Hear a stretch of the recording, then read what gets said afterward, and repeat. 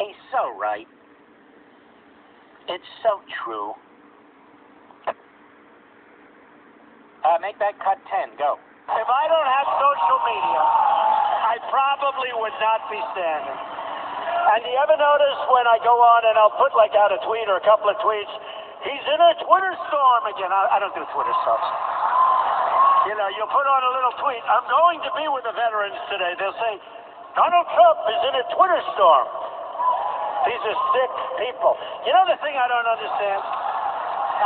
You would think, you would think they'd want to make our country great again. And I honestly believe they don't. I honestly believe it. If you want to discover the source of the division in our country, look no further than the fake news and the crooked media,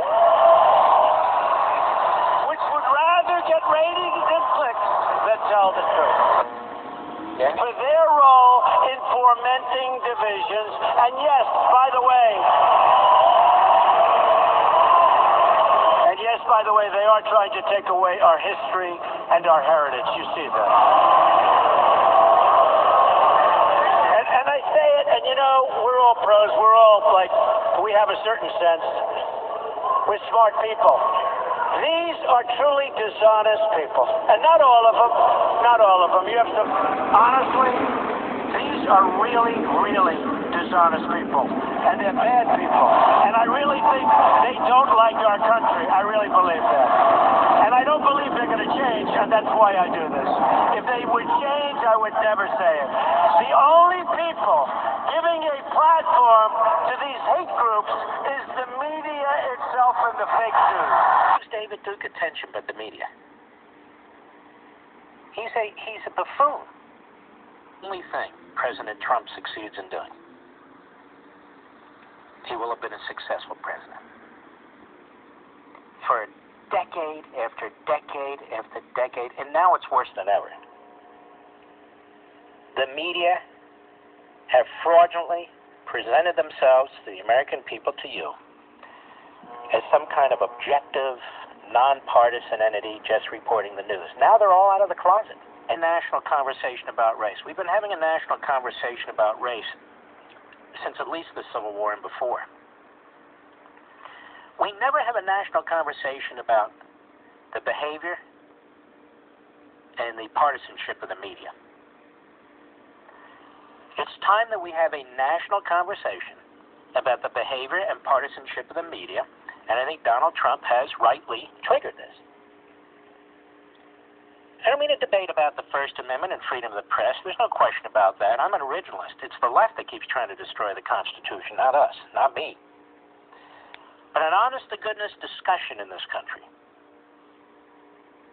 about the media. The vast majority of the media are corporate entities.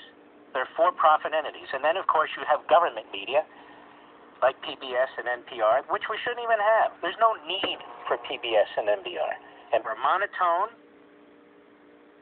then, you know, let them uh, compete in the commercial world. There's no need for government radio and government TV. And the good party media in this country, certainly national media, are uh, corporate entities. Citizenship of the media.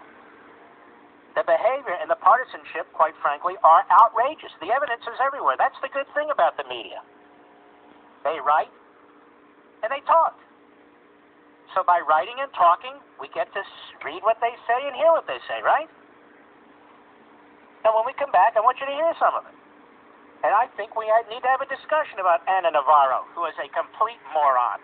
I think we have to have a discussion about Don Lemon, who's another complete moron, and Joe Scarborough. He's not only a complete moron, he looks like the banjo player in Deliverance, as I've said many times.